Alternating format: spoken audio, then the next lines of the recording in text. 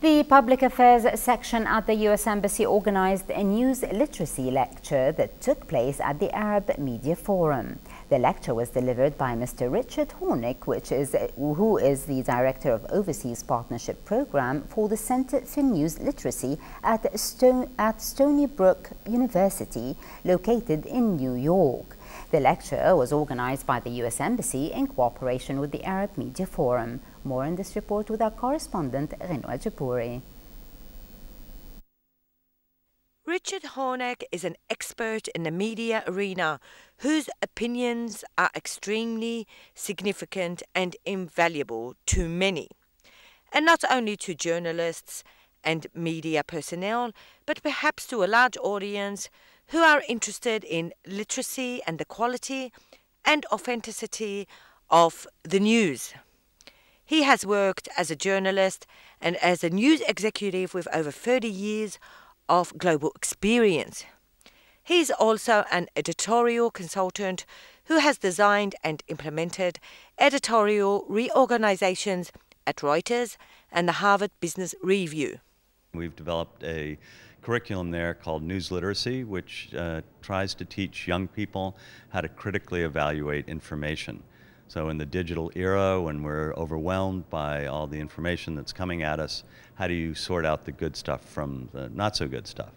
And I'm spending this week at the Gulf University of Science and Technology with their uh, communications department, uh, talking about ways to uh, take some elements of our curriculum and uh, have it adapted here in Kuwait. The lecturer's insight and experiences are without a doubt invaluable to any organization or to any individual who is keen to understand the importance of journalism and the quality of information that is commonly being published across several places in today's era. Traditionally, one would resort to the newspaper to learn of current affairs and news. However, information today can be accessed through the World Wide Web and through countless social mediums. And the nature of journalism is changing. Uh, the what we call media convergence, all the different forms of media coming together, um, media fragmentation at the same time, where you have a lot of different kinds of media. I mean, it's it's changed. We no longer have the single model of the mass broadcasting, where you have the radio or the television trying to reach uh, the majority of people. Now everybody goes off and self-selects their own kind of uh, media to consume. Uh, there's a plethora of choices, and uh, this makes it a lot harder for people to communicate messages to the masses because the masses are so fragmented. Um, it also makes it much harder for consumers of media to be able to differentiate between what's good journalism and what's bad journalism, um, or what's not even journalism at all, but looks like journalism.